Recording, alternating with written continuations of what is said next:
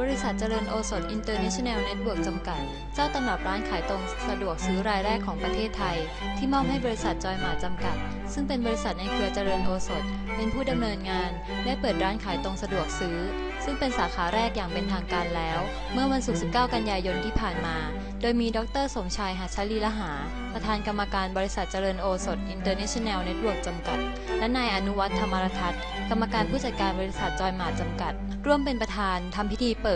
ท่ามกลางบรรดาผู้นำเครือข่ายแห่หลั่งไหลเข้าร่วมงานกันอย่างคับข้างครับสำหรับวันนี้ครับก็เป็นวันที่จอยมาดเป็นวันแรกของการเปิดเอ่วันนี้เราสร้างจอยมาดมาเป็นเครื่องมือเอเพื่อให้เป็นเอ่อเครื่องมือในธุรกิจขายตรงของจโรสด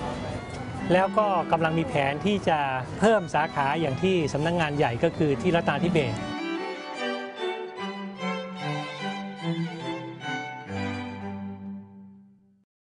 ถ้าผมไม่ตัดสินใจในวันนั้น ผมคงไม่มีวันนี้ เพื่อนผมมาแนะนำให้ทำธุรกิจ ใครจะกล้าคิด ว่าเราจะมีธุรกิจเป็นของตัวเอง เป็นธุรกิจขายตรงที่แตกต่างและแข่งขันได้ แปลงทุกรายจ่ายของเครือข่ายให้เป็นรายรับ โดยเทคโนโลยีออนไลน์จากสาขาทั่วประเทศ ในที่สุดความฝันและอนาคตของเราก็เป็นจริง เจริญโอสถธุรกิจขายตรงของคนไทยเพื่อคนไทย